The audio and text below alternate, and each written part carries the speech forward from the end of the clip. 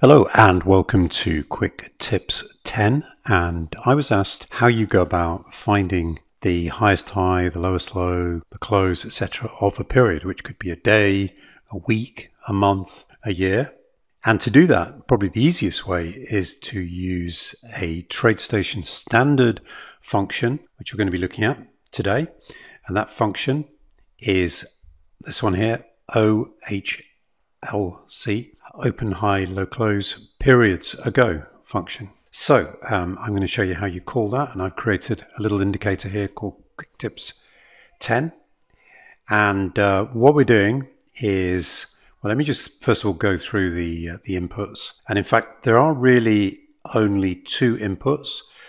The rest of these it could be used as inputs, but we're not doing so in this function. But uh, we have period type, and what you put in there is a number, which is one for a day, two for week, three for month, or four for year. Periods ago, how many periods ago you want to find the high, low, open, close for a period, um, how many periods ago you want to do that. Now the function uses an array and the array has got 51 elements, so that number can be maximum 51. And then the rest of these we're going to be using, or they are, returning the values. So for example, returning the period open, period high, period low, period close.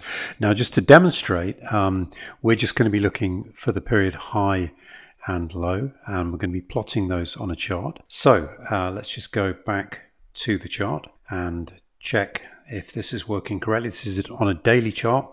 And uh, indeed, you can see that every time we go into a new week, we uh, change the uh, the low, which is uh, plotted here in yellow, or the high, and it reflects what the highest high or the lowest low was for that week. Now this will also work if we were to change the symbol to, in fact, I've already, just go back to, uh, for example, a minute chart, it will work uh, just as well. You see here, moving on to a new week and it reflects the high just there and a new week and it reflects the low just there and plots them.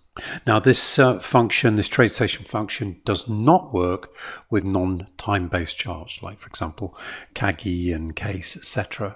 So the other thing I want to show you is we've got this set at the moment as you probably saw uh, with this figure here which is the period type set to 2 which is week.